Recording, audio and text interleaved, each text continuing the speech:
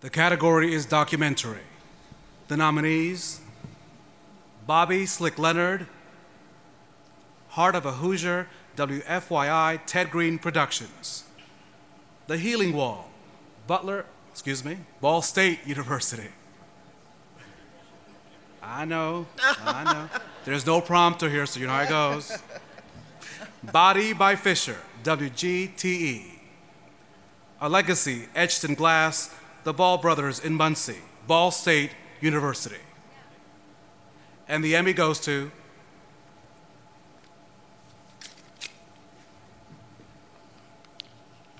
It's stuck. Bobby Slick Leonard, Heart of a Hoosier, WFYI, Ted Green, Pete Satridge. I was out there and I couldn't get loose. And uh, there I was, lightning and thunder and everything. There I am tied to the tied to the daggone clothesline. And here come the Lakers. Bob Leonard comes across midcourt, fakes, then drives under to roll in a two-pointer.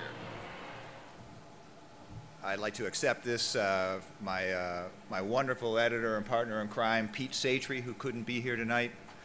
I also like to thank my wonderful friends at WFYI, Lloyd Wright, who is here tonight, Clayton Taylor, who couldn't be, uh, Judy Border, so many more, and a few others I'd like to thank. Uh, two of my very best friends, Jeannie Brown, uh, whose husband's up here uh, in the rafters somewhere, former Hall of Famer or Hall of Famer Roger Brown, and also Scott Tarter, one of my best buddies, and also my attorney at Bose McKinney and Evans, which helped me a ton with this. My very best friend in the world, Jenny Green, who also serves as my script editor. And uh, obviously, this couldn't have been done without the Leonard family going all in. I am so moved uh, and touched that Bob and Nancy and Tommy and Kristen were able to come here tonight.